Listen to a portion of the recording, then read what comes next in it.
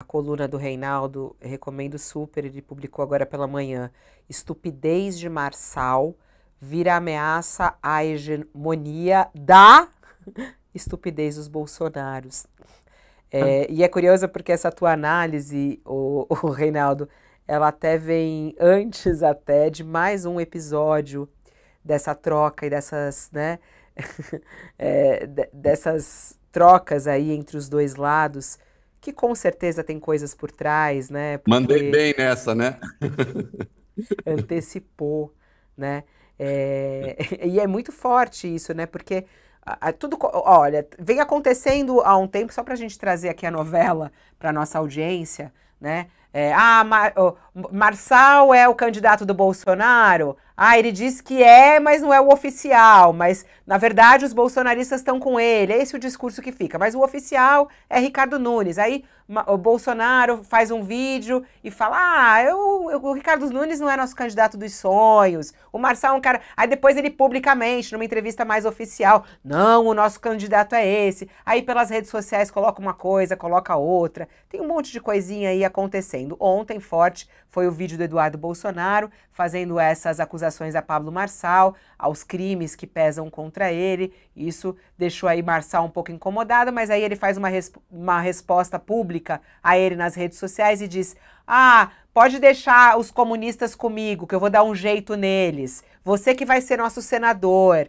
É, pra cima, irmão dando até uma puxadinha de saco aí em Eduardo Bolsonaro. Mas aí hoje, mais tarde também, agora há pouco inclusive, teve uma coisa curiosa. Bolsonaro todos os dias ali quase vai nas redes sociais e publica feitos do governo dele. É sempre muito estranho tudo isso, mas ele coloca lá feitos do governo dele, né? Como se estivesse ainda é, sendo presidente da República, prestando conta, enfim, propaganda dele, coloca lá. Pablo Marçal foi na sequência e comentou. É isso aí, capitão, para cima, capitão. Como você disse, eles vão sentir saudade de nós, escreveu o Pablo Marçal, querendo ser o fofo ali é, no comentário de Bolsonaro. E Bolsonaro, irônico, escreve: Nós? Um abraço. Só que aí a coisa começa a ficar mais quente, porque aí o Pablo Marçal começou a falar: Poxa, é, eu entrei para a lista dos investigados da Polícia Federal por te ajudar. Se não existe o nós, seja mais claro, disse Marçal ao Bolsonaro. E ele falou assim: nós não nos curvaremos a comunistas nas eleições municipais. E se o capitão quiser me tirar de nós, ele falou: se o capitão quiser me tirar de nós, quer dizer, não me considera do teu time, então me devolve, me devolve os 100 mil reais que foram depositados na sua campanha e deposita na minha campanha para prefeito. E aí, tio Rei? O que, que, você achou aí dessa cobrança de Pablo Marçal Bolsonaro? Me devolve os 100 mil. Rasgue as minhas cartas e não me procure mais. Assim será melhor, meu bem. Ai, adoro Adriana O trato que eu te dei. Se ainda tens, não sei, mas se tiver, devolva-me. Deixe-me sozinho, porque assim eu viverei em paz. Quero que sejas bem feliz junto com teu novo rapaz. Gente, a música é perfeita! Devolva-me, seja feliz junto com o seu novo é. rapaz, o Ricardo Nunes. Música da, música da Lília, do Lene Lilian, gravada magnificamente, espetacularmente pela minha querida amiga Adriana Calcanhoto, a quem mando um beijo. Espero que veja esse programa também. Né? É uma das coisas mais encantadoras que ela já fez, né? a, a, a, essa reinterpretação, né? Porque o gênio faz isso, pega uma coisa aparentemente simples e tal, recoloca num contexto e relê tudo. Dá vontade de ficar falando de coisas boas como a Adriana Calcanhoto, mas vamos falar de coisas más. Olha só, olha aqui. Eu escrevi esse textão hoje, né?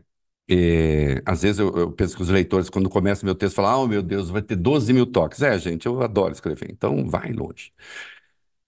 O negócio é o seguinte, Fabiola. O bolsonarismo, com alguma frequência, se diz assim: existe o bolsonarismo, ou melhor, vamos entender, existe o lulismo e existe o seu duplo negativo, o seu duplo invertido, que é o bolsonarismo. Né? E dessa impressão errada e dessa inverdade nasce a tese da tal da polarização, que eu considero uma das coisas mais estúpidas é, que triunfam no Brasil e que essa coisa de polarização tornou refém é, o jornalismo, um refém conceitual dessa coisa de polarização, e isso condiciona todas as análises, né?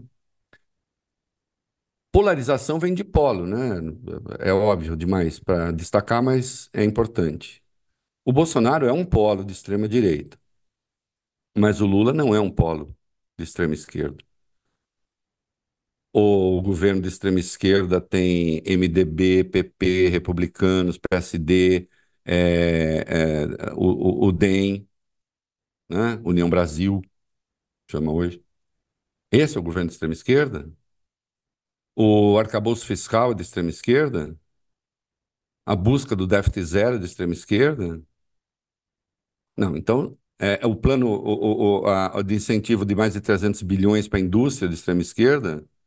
O plano safra de extrema esquerda? Nós temos um governo de centro, em muitos aspectos, de centro-direita, preocupado com é, reparação dos extremos da miséria. É isso que nós temos. Nós não temos um governo de centro de extrema esquerda, portanto, não existe a polarização com Lula. Lula é outra coisa. Lula é outra coisa, o PT é outra coisa. O bolsonarismo não é um petismo do outro lado. O bolsonarismo é uma mobilização de ódios, de rancores, é um movimento puramente reativo, ele não tem nada de afirmativo, ele tem tudo de negativo, de negação daquilo que não quer. Então eu não quero a ascensão das mulheres como, como ação política. Não, as mulheres respeitamos direitos iguais e tal. Como na prática os direitos não são iguais, é preciso que exista o feminismo para fazer a equação política dessa desigualdade, certo? Porque na lei ela existe.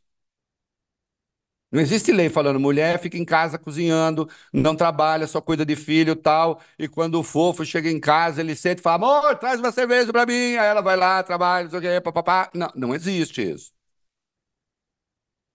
Nem a, a não está escrito que a mulher não pode, ela trabalha fora, ele trabalha fora, mas quando chega em casa é ela que fica na cozinha. O que é o feminismo? O feminismo é uma leitura política dessa desigualdade que se abriga na igualdade da lei e, portanto, é um movimento afirmativo de direitos e o bolsonarismo é reativo a isso que é o feminismo. Em relação aos negros, o bolsonarismo é reativo aos movimentos afirmativos do direito dos negros, que no papel existe, existe uma lei, inclusive, que pune a discriminação racial, é, etc. No entanto, a discriminação racial está na desigualdade salarial, a discriminação racial está no lugar onde as pessoas moram, quem aqui mora na periferia, a desigualdade racial está nas cadeias, a desigualdade racial está no número de mortos por homicídio. E, portanto, uma sociedade democrática moderna é preciso que você tenha um movimento afirmativo dos negros para que a igualdade que existe na Constituição se concretize de fato. E aí é preciso que você tenha, inclusive, algumas medidas que são de desigualdade afirmativa para corrigir essas desigualdades. A mesma coisa em relação a, a homossexuais, trans, etc. Enfim, as camadas e os subalternizadas do país que buscam a, a, a, se afirmar politicamente que é o bolsonarismo? O bolsonarismo é um não a tudo isso, é uma reação a tudo isso e uma reação violenta. Não é? Porque junto com essa reação vem outras coisas, como, por exemplo, é, a, o que eles pretendem ser a universalização do, por, do porte de arma, a violência policial, porque tudo isso viria a resgatar aquela sociedade do passado que teria sido boa que nunca existiu. É isso o bolsonarismo. O bolsonarismo, insisto, não é um conjunto de coisas afirmativas. Ele é um conjunto de coisas negativas. E o Bolsonaro, ele é, digamos, o líder carismático, para os que gostam, desse movimento. Só que o que o Pablo Marçal demonstra? O Pablo Marçal demonstra que ele é que Bolsonaro é substituível. Você não precisa de um Bolsonaro. Qualquer um falando as barbaridades que o Bolsonaro fala, porque é muito importante que a gente lembre que o Pablo Marçal está falando as barbaridades que o Bolsonaro sempre falou. Só que ele o faz por traços de personalidade, por vinculações que eu sei lá quais são, boas não parecem ser, ele o faz sem pedir muita licença. Né? Ele chega. Ele chega e diz: dá licença, quero sentar na janela. A famosa sentar na janelinha, o famoso sentar na janelinha. O vídeo do Eduardo Bolsonaro, que ele publicou ontem, ele conta lá uma história que ele tinha um programa, entrevistou o Pablo Marçal. O Pablo Marçal, ele dá a entender que o Pablo Marçal falou mal do comunismo e do marxismo. Eu imagino Pablo Marçal com a bibliografia que certamente tem, não é? É a quantidade de palavras que ele emprega em sentido impróprio. Eu vi isso no debate da Band. Ele não conhece o sentido de um monte de palavras. Né? Ele é de uma ignorância profunda, como aliás costuma, costumam ser essas pessoas. Imagina discutindo marxismo com o Eduardo. É, ele teria falado mal do marxismo, depois ele teria ligado para o Eduardo, pedido para retirar essa parte, aí o Eduardo conta isso nesse vídeo, sugerindo que o Pablo Marçal tivesse, no passado, ou tenha tido alguma simpatia pelas esquerdas. Então vamos lá. Eduardo começa a descaracterizar, a, a, a, a criticar o Marçal, sugerindo algum viés de esquerda no Marçal. Olha, olha o delírio. Né? E aí diz que o Marçal não fez as escolhas certas na hora certa, porque agora sim ficar combatendo a esquerda, mas e o Hamas? E aí vai falando de coisas. Né? Mas chega ao ponto. O ponto principal da fala do Eduardo está no seguinte: eu até transcrevi o trecho no meu artigo. Ele diz: olha aqui, evocando Olavo de Carvalho, nem existe direita no Brasil. Existe Jair Bolsonaro. E muita gente joga pedra no Jair Bolsonaro. Aí diz, nem eu falo certas coisas que Bolsonaro fala, porque eu preciso comer muito arroz e feijão para isso. O que ele está falando para o Pablo Marçal é: você é um intruso na nossa história, porque você não chega apenas como um subordinado da, das nossas causas. Você ousa ter uma interpretação própria, em benefício pessoal, sem a necessária autorização do capitão em nossa. Você ousa usar o nosso nome para essas coisas e nós não queremos. Lembre-se, e atenção, preste atenção para o paralelo que eu estou fazendo. Mas lembre-se o que eles fizeram com a Joyce Russell.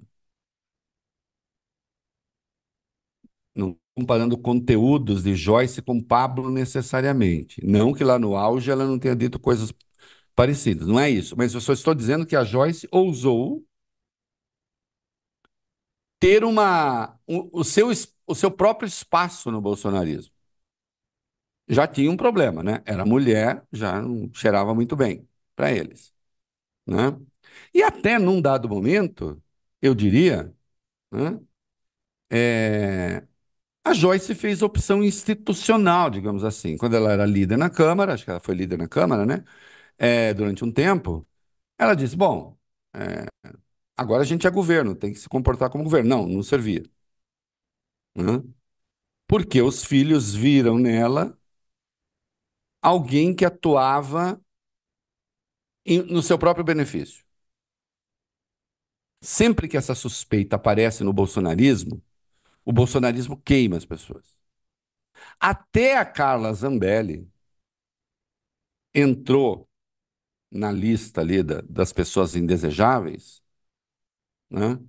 A despeito da sua falta de noção por um monte de coisa, teve episódio da arma, mas também se fala assim, opa, ela está fazendo um jogo que é muito pessoal. No caso do Pablo Marçal, além disso, desse jogo muito pessoal, ele tem uh, os seus seguidores nas redes sociais não dependem do bolsonarismo. Ele tem seus próprios seguidores. E ele passou a falar o discurso bolsonarista. Ele quer ser um deles, mas os bolsonaros perceberam e estão certos nessa percepção que alguém como Pablo Marçal quer usar, os, os, usar o bolsonarismo em benefício pessoal. Hum? Benefício pessoal que eu digo, não para ganhar dinheiro, porque parece que dinheiro já tem bastante, né? E, é, mas benefício político, pessoal. Né? Então, o bolsonarismo percebeu é, que eles, na verdade, que eles são. O bolsonarismo é mais frágil do que parece. O bolsonarismo tem esse nome, mas ele depende menos de Bolsonaro do que parece. Que o bolsonarismo é o que há de ancestral no Brasil na articulação dos ódios, dos rancores, da discriminação, é, do medo da mudança. Hum? E o Pablo, de algum modo, expõe a farsa que é Bolsonaro. Porque o Pablo também é uma farsa. Hum? Qual é o heroísmo de Bolsonaro? E esse é que chama um mito. Qual é a história do mito? Vamos contar a história do mito? 27 anos na Câmara, fazendo o quê? O tempo ficou no Exército fazendo o que ele inventou, inclusive, que ele combateu a guerrilha quando ele tinha 12 anos. Eu lembro do superior dele falando que ele tinha pensamento ilógico, ambição desmedida e era uma liderança negativa. Isso lá no Exército. Foi chutado do Exército. 27 anos na Câmara sem fazer absolutamente nada. E acabou se elegendo presidente por circunstâncias várias, em razão de Lava Jato, etc. Não vou entrar agora é, nesse mérito, porque senão demandaria horas para tratar do assunto. E ele se torna presidente, se vira líder da extrema-direita, engolfa uma parte da direita, com que biografia?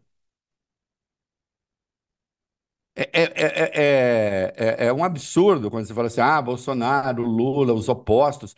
Pega a trajetória do Lula, santo Deus. Você pode não gostar de nada que ele pensa, mas pega a trajetória do Lula. Ali sim você tem uma trajetória de desafios. O do Bolsonaro é qual? Pablo Marçal, 2005, é, flagrado pela polícia cometendo crimes. Há comprovação de que ele sim, ele também pirateou é, é, contas bancárias. Ele diz: não, eu só consertava computadores e ganhava um salário mínimo por mês. 2005. 19 anos depois, ele declara 193,5 milhões de patrimônio. Significa que ele acumulou, na média, por ano, mais de 10, acumulou mais de 10 milhões de patrimônio. Numa trajetória realmente invulgar. Hã? E quando você vê, ele está ombreando com o bolsonarismo na mobilização da turba reacionária. Hã?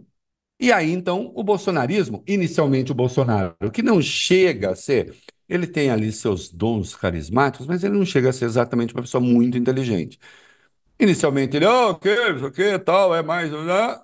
Mas o Eduardo, que não tem o carisma do pai, carisma negativo, se bem entende, não vou entrar em detalhes, é um pouco mais articulado, percebe que ele representa um risco.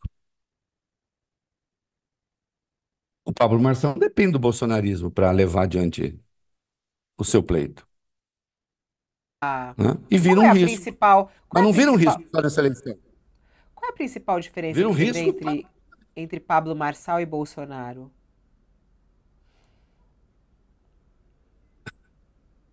É, Pablo Marçal é mais treinado, por incrível que pareça, nessas coisas de internet, de redes sociais, de, né? E tem ainda menos limites, né? Que o Bolsonaro, bem ou mal, ele pertenceu a uma corporação, os militares, bem ou mal, é, ele está num partido, ele hoje convive com outros é, políticos, né? Ele tem articulação com governadores, etc. Enfim, né? Tarcísio aqui.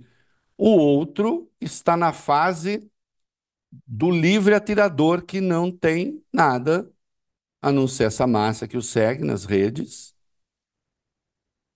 e tem a mesma falta de pudor do Bolsonaro. E, a despeito dos absurdos que diz, ele se expressa até com mais clareza do que o Bolsonaro, né? É, e ele, Bolsonaro fazia pinta de, não, não era pobre, mas fazia pinta de um homem pobre, não sei o quê. O Pablo Marçal aprendeu que a sua vibe é outra, é dizer, como eu sou muito talentoso, como eu sou é, o fortão do bairro Peixoto, eu sou rico mesmo, exibe a sua riqueza, faz questão de exibir sua riqueza, para dizer que de resto, então, a política para ele não interessa, ele está querendo mudar o Brasil e tal. E se colou o bolsonarismo. E o bolsonarismo está dizendo, sai para lá. E aí está dando esses choques. Né? É... Não é burro, tanto é que o Eduardo dá essa pancada nele, ele responde como? Ô, oh, meu irmão, fica tranquilo. Até um tom de ironia ali, né? Fica tranquilo que aqui em São Paulo. Veja, repare a, repare a resposta do, do, do Marçal para o Eduardo. Fica tranquilo que aqui em São Paulo eu daqui de São Paulo eu cuido. Hum? De São Paulo cuido eu. São Paulo, São Paulo é meu, tá? E você quer ser senador em São Paulo? Eu acho que você vai precisar de mim, hein?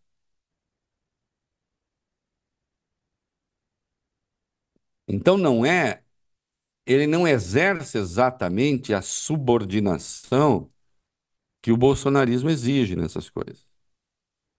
Né? Ele já ele quer entrar nessa, nessa, nesse jogo do, do Bolsonaro, que ainda é o jogo dominante na extrema-direita, mas ele quer entrar por cima. E aí é claro que sentir o cheiro do arrivismo, digamos, ali entre eles. Né? Que, que cara é esse? E com uma ficha que, né, o próprio Eduardo lembrou. Então, matéria do Estadão. Articuladores da campanha do Escobar, do, do, do, do, do, Pablo Marçal.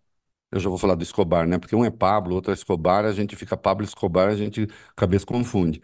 Articuladores da campanha do Pablo Marçal, Tarcísio Escobar, Júlio César Pereira, o Gordão.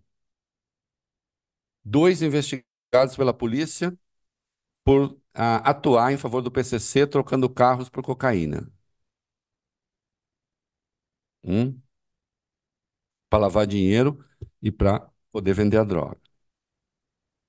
São investigados. Coordenadores informais da campanha do Escobar. Tem uma do, do, do Pablo Marçal. Tem uma foto desse Tarcísio Escobar com o Pablo. Tem uma foto do Escobar com o Pablo. Insisto, fica parecendo piada, que é do dia 22 de junho. Hum? Outra matéria do Estadão. Edilson Ricardo da Silva, ligado ao novo cangaço, também na campanha de Pablo Marçal.